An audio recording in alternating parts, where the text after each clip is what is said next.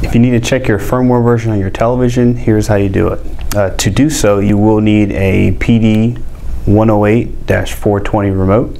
I will start by pressing the setup button to pull your menu up. You will scroll over to the option that says Commons and press OK. You'll scroll down to the option that says System Info. Press OK. The very first option will say TV version, and that is the version of firmware. If you do need to update the version of firmware, you will simply back out of this menu by pressing the setup button. You will remove power from the back of the television. Insert your flash drive with your current version of firmware into the USB slot.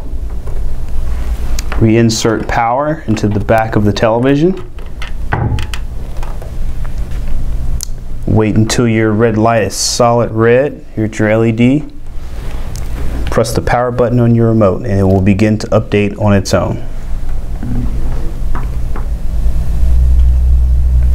After four minutes, uh, your TV will power back on on its own.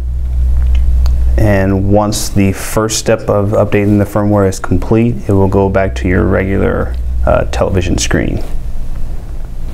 Once the first part of your firmware is, update is complete, it will go back to the initial setup screen where, where you will have to set your television back up again. So we will bypass that for now.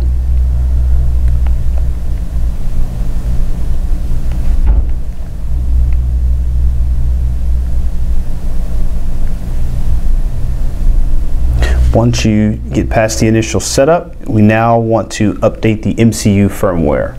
So we will scroll over to Common once again, press OK. We will scroll over to System Info just to double check to make sure that we have now updated our firmware. And then we will press the setup button to back up twice and scroll over to smart settings press OK.